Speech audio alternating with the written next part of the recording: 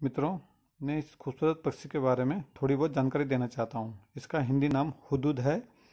ये ग्रीष्म काल में उत्तरी छोर की ओर प्रवास करने वाला पक्षी है। यह लाल, भूरे रंग का होता है और इसके पंख व पूंछ काले, सफ़ेद होते हैं। इसकी शिका काले सिरे वाले पंखे के आकार की होती है। इसकी चोंच लंबी व नीचे की ओर मुड़ी हुई होती है। ये हुदहुद की आवाज़ निकालता है। ये खुले स्थानों और खेत खलिहानों और गाँव में अधिकतर पाया जाता है।